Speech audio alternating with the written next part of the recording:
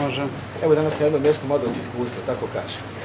Pa jeste, to je uobičajeno za naš klub, za šalski klub Banja Luka. Mi koliko god e, posvećujemo pažnju seniorskoj ekipi za takmičenje, tako isto tako organizujemo školu šaha. E, možda široj javnosti nije poznato da mi imamo osam škola šaha u osnovnim školama, od toga imamo šest u osnovnim školama i dvije napredne škole. A te napredne dvije škole, to smo izadali najbolje i da tako kažemo, najtalentovanije dječake i djevojčice koje su u prošlogodišnjim prošlim takmičenjima pokazali najbolje rezultate i njih smo izdvojili dvije napredne grupe i to se nadamo jednog dana da će to biti okusnica naše omladinske, kadetske, odnosno senjorske ekipe.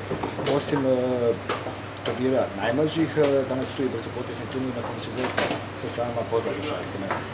Pa jeste, e, bez obzira što je organizator šalskih klubanja Luka, mi smo u dogovoru sa gradskom upravom poslali poziv svim aktivnim klubovima, šalskih klubima u Banja Luci, tako da mi imamo danas prisustvo i svih šalskih klubova Banja Luke ovdje, tako da je to baš onako jedna previše rečeno ovaj, banjučka šalska ekipa. Koga biste izvojili od potencijalnih favorita?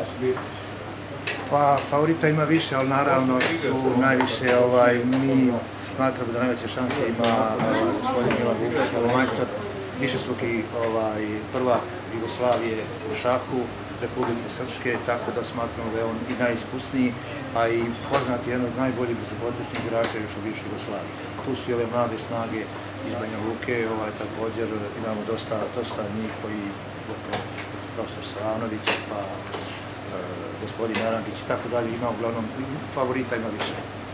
I to je dobro, i to je dobro za šah. Hvala. Hvala.